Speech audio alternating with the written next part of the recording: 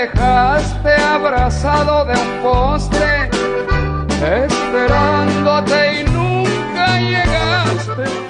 redes sociales comenzó a circular una imagen poco común, y no es como diría Lorenzo de Monteclaro, que se quedó abrazado de un poste. Esta vez es un militar abrazado de una gigante cerveza inflable. Los hechos ocurrieron en un punto de venta de alcohol en Gómez Palacio, ubicado sobre el Boulevard Miguel Alemán. El soldado decidió energetizarse abriendo de par en par sus brazos para supuestamente posar para una fotografía. El inflable que mide aproximadamente 6 metros de alto fue refugio del efectivo de seguridad.